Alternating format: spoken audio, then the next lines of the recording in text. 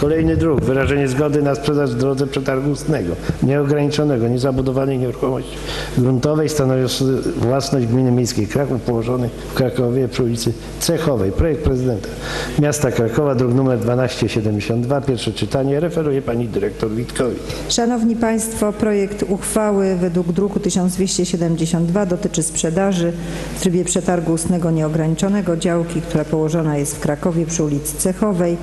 E, Numer działki 83 przez 2, powierzchnia 269 metrów. Zgodnie z planem zagospodarowania przestrzennego, jaki tam obowiązuje, nieruchomość położona jest w terenach usług komercyjnych.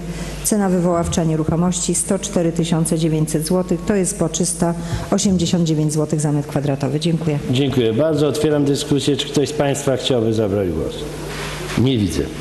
Stwierdzam, że Rada odbyła pierwsze czytanie projektu i zgodnie z paragrafem 36 ust. 6 Statutu Miasta Krakowa określam termin wprowadzenia autopoprawek na 18 czerwiec 2013 roku, godzina 15. Ostateczny termin zgłaszania poprawek 20 czerwiec 2013 roku, godzina 15.